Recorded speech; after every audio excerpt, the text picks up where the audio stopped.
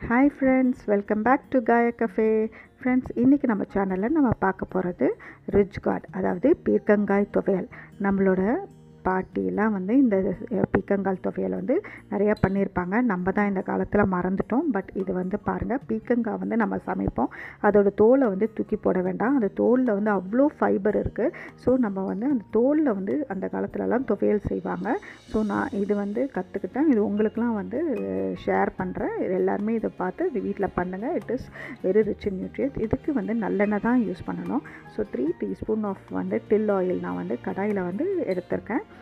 So இப்போ நம்ம வந்து இதில் வந்து இன்க்ரீடியன்ஸ்லாம் வந்து வதக்க போகிறோம் ஸோ என்னென்ன இன்க்ரீடியன்ஸ் தேவைன்றது பாருங்கள் ஃபஸ்ட்டு ரெட் சில்லிஸ் நல்லா காரமாக ஸ்பைஸியாக இருக்கிறதுக்கு கார்லிக் ஜிஞ்சர் தென் யுராதிட்டால் இது எல்லாமே நான் எடுத்திருக்கேன்.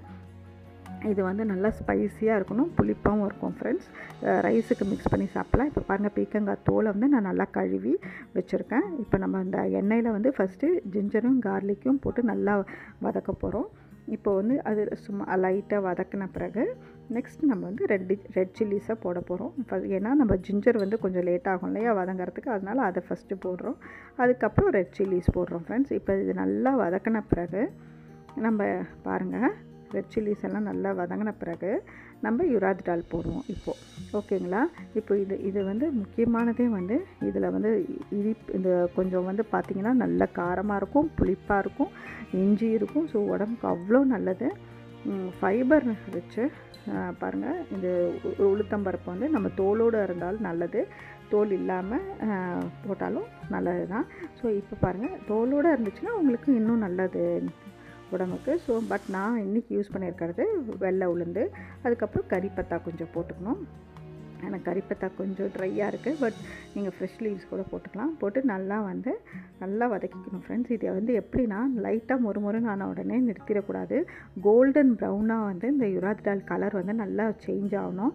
அப்போ தான் வந்து இந்த நல்லாயிருக்கும் டேஸ்ட்டு துவையலோட டேஸ்ட்டு ஸோ அதை வதக்கிட்டு எடுத்து நம்ம ஆற வச்சிடணும். ரூம் டெம்பரேச்சருக்கு கொண்டு வந்துடணும். அதுக்கப்புறம் திருப்பி நான் ஒரு one spoon of til oil போட்டுக்கிட்டு இந்த பீக்கங்காய் தோல் இருக்கு இல்லையா அந்த தோலை மட்டும் வச்சு நான் இப்போ துவையல் பண்ணியிருக்கேன். பாருங்கள் இதை வந்து இந்த எண்ணெயில் வதக்கணும். ஃப்ரெண்ட்ஸ் இது வதக்கிறதுக்கு கொஞ்சம் லேட்டாக தான் ஆகும். இது வந்து நம்ம உடனே லைட்டாக வதக்கிட்டு நிறுத்திடக்கூடாது. ஏன்னா இது வந்து தோலுன்றதால கொஞ்சம் லேட் ஆகுனா இது நியர்லி எனக்கு ஒரு ஹாஃப் அன் ஹவர் கிட்ட ஆகிச்சு. நல்லா வதங்கணும் ஃப்ரெண்ட்ஸ் எந்த அளவுக்கு கலர் மாறி இருக்கு பாருங்கள் இந்த அளவுக்கு நல்லா வதங்கணும். வதங்கின பிறகு நம்ம அரைச்சி வச்சுருக்க எல்லா இன்க்ரீடியன்ஸும் இப்போ மிக்சியில் எடுத்துக்கணும்.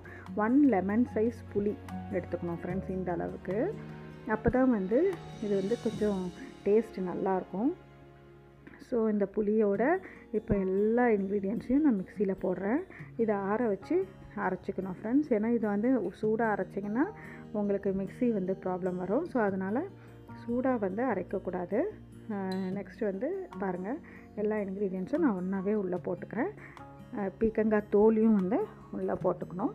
ஸோ பாருங்கள் எவ்வளோ இதில் கால்சியம் ஃபைபர்லாம் இருக்குன்னா அவ்வளோ அந்த காலத்துலலாம் இந்த மாதிரி ஃபுட்டெல்லாம் சாப்பிட்டு தான் ஃப்ரெண்ட்ஸ் நல்லா இன்ன வரைக்குமே அவங்களாம் ஹெல்த்தியாக இருக்காங்க. ஆனால் இப்போ இருக்கிற ஜென்ரேஷன் பாருங்கள் ஈஸிலி நம்ம எல்லாத்துக்குமே அஃபெக்ட் ஆகிறோம். ஈஸியாக வந்து நம்மளுக்கு நிறைய இம்யூன் சிஸ்டமு இம்யூன் பவரே நம்மளுக்கு வந்து கொஞ்சம் கம்யூன் இம்யூனிட்டியே கொஞ்சம் கம்மியூன் கம்மியாக இருக்குது ஸோ அதனால் இந்த மாதிரி ஃபுட்ஸ் எல்லாம் நம்ம அடாப்ட் பண்ணால் தான் நம்மளுக்கு வந்து நம்ம சர்வைவ் ஆக முடியும். ஸோ எல்லாமே வந்து இதெல்லாம் ஃபாலோ பண்ணுங்கள் பீக்கங்காய் தொகையில் வந்து அவ்வளோ நல்லது ஃப்ரெண்ட்ஸ் ஓகே இப்போ சால்ட்டு போட்டுட்டு நம்ம வந்து நல்லா வந்து அரைச்சிக்கணும். இது வந்து நம்ம ரொம்ப ஸ்மூத் பேஸ்ட்டாக அரைச்சிக்கணும்னு அவசியம் இல்லை. நம்ம வந்து கோர்ஸ்லேயே அரைச்சிக்கணும். லைட்டாக குறை குறைன்னு இருக்கிற மாதிரி அரைச்சிட்டு அதுக்கப்புறம் பாருங்கள் நான் டெல் ஆயில் வந்து ஒரு ஃபோர் டு ஃபைவ் ஸ்பூன்ஸ் ஊற்றி மஸ்டர்ட் ஆயிலால் சி மஸ்டர்டு போட்டு நான் வந்து சீசன் பண்ணிக்கிறேன். கடுகு அதாவது கடுகு போட்டு நான் வந்து இதை தாளிச்சிக்கிறேன். ஸோ நம்ம தாளித்து அதில் கொட்டிக்கிட்டாலும் பண்ணலாம். இல்லைனா நம்ம கடாயிலேயே வந்து தாளித்து இங்கே பாருங்கள் நான் என்ன பண்ணுறேன்ட்டு. இப்போ நீங்கள் ரொம்ப நாளுக்கு ப்ரிசர்வ் பண்ணணும் அப்படின்னா நீங்கள் இந்த மாதிரி கடாயில் போட்டு தாளிக்கலாம். இன்கேஸ் நீங்கள் உடனே காலி பண்ணிடுவீங்க அப்படின்னா நீங்கள் ஒரு குழி கரண்டியில் தாளித்து அது மேலே நீங்கள் வந்து ஊற்றிடலாம். ஸோ இந்த மாதிரி ரெண்டு வகையாகவும் தாளிக்கலாம் ஃப்ரெண்ட்ஸ் நீங்கள் கடாயில் தாளிக்கும் போது உங்களுக்கு ரொம்ப நாள் ப்ரிசர்வ் பண்ண யூஸ்ஃபுல்லாக இருக்கும். ஸோ இந்த மாதிரி பண்ணிங்கன்னா ரொம்ப நாள் ஏன்னா இது திரும்ப வதங்குது இல்லையா? திரும்பி நம்ம ஏற்கனவே வதக்கிட்டோம். திருப்பி நம்ம ஆயிலில் போட்டு திருப்பி வதங்குறோம். ஸோ வந்து இது வந்து ரொம்ப நாளைக்கு நம்மளுக்கு வந்து ப்ரிசர்வ் பண்ணி வைக்கலாம். நான் வந்து நியர்லி ஒன் வீக் இதை வச்சு சாப்பிட்டோம். ரொம்ப நல்லா இருந்தது. இட்லி தோசைக்கு தென் வந்து நீங்கள் வந்து ரைஸுக்கு கூட வந்து மிக்ஸ் பண்ணிக்கலாம். நான் ஒரு நாள் ரைஸில் மிக்ஸ் பண்ணேன். ரெண்டு நாள் இட்லி தோசை கூட யூஸ் பண்ணேன். அவ்வளோ டேஸ்ட்டாக இருந்துச்சு ஃப்ரெண்ட்ஸ் ரைஸோட மிக்ஸ் பண்ணும்போது அவ்வளோ நல்லா இருந்துச்சு. நீங்கள் வந்து இந்த புளி சாதத்துக்கெலாம் நீங்கள் வந்து பண்ணுவீங்க இல்லையா? அந்த மாதிரி இது வந்து கொஞ்சம் டிஃப்ரெண்ட் டேஸ்ட்டில் இருக்கும் நல்லாயிருக்கும் ஃப்ரெண்ட்ஸ் இப்போ பாருங்கள் நான் தண்ணி கூட இதில் கொஞ்சம் ஊற்றி அதை வந்து நான் அதில் கலக்கி ஊற்றுறேன் வேஸ்ட் பண்ண வேண்டான்ட்டு இப்போ ஆனால் இந்த தண்ணி வந்து நல்லா அப்சார்ப் ஆகி நம்ம எண்ணெய் ஊஸ் அவுட் ஆகி வர வரைக்கும் நம்ம வந்து இந்த கடாயில் வைக்கணும். இந்த தண்ணி இருக்கக்கூடாது. ஸோ அது மாதிரி தான் நம்ம வந்து தாளிக்கணும் ஃப்ரெண்ட்ஸ் அப்படி எண்ணெய் போய் அந்த தண்ணியெலாம் போயிட்டு எண்ணெய் ஊஸ் அவுட் ஆகி வர வரைக்கும் வதங்கினா தான் உங்களுக்கு ப்ரிசர்வ் பண்ணி வைக்க முடியும். ஸோ அதனால் இப்போ பாருங்கள் நீங்களே பார்க்கலாம். பாருங்கள் இப்போ நான் வந்து கொஞ்சம் நேரம் தான் நம்ம வதக்கணும். அதுக்குள்ளே பாருங்கள் வாட்டர்லாம் அப்சர்வ் ஆகுது.